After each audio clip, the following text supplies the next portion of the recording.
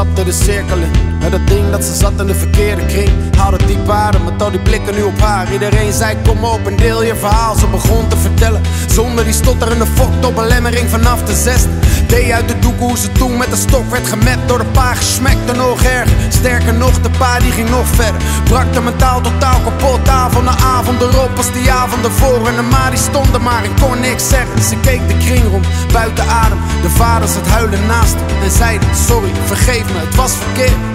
Maar ik heb het van mijn pa geleerd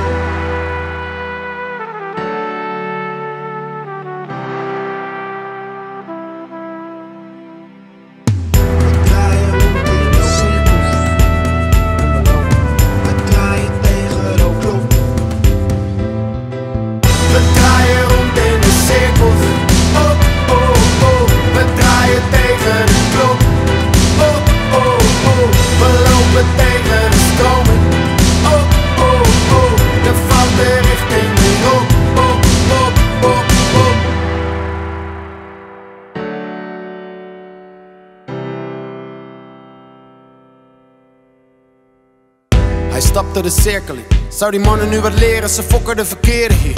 Eén verkeerde blik is als rood op een wilde stier. Veel plezier hier, speelkwartier is over. Een paar tikken op zijn hoofd is te weinig. Ik vind niet die wat meer verdient. Zijn beste vriend zal nog toe naar rust te gaan. Hij heeft genoeg, het is tijd om terug te gaan. En het voelt verdomd goed. Als er iemand dom doet, denkt hij nu wel twee keer na. De week erna weer uit op dezelfde plaats. Staat diezelfde doet weer op dezelfde plaats. Shit. Maar nu met z'n elf, de een met een knipmes, klaar voor vergelding. Klaar voor de wraak op de vorige week. Zijn beste vriend die riep nog maar, was te laat om te helpen. Shit.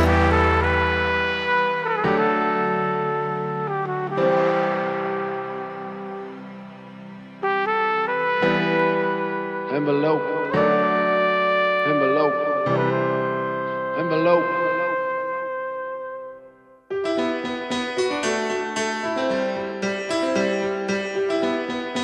Ik sta naar mijn scherm. Denk na of ik first 2 echt moet vertellen. Beest onder waarheid, een vriend van mij die heeft die shit meegemaakt. Dus ik denk ik bel hem en vraag hem hoe gaat het. Hij zegt het gaat wel. Ik voel sowieso niks meer van de hechting. Plus ik heb groepstherapie om al die shit te verwerken. En ik zeg goddamn fucking heftig.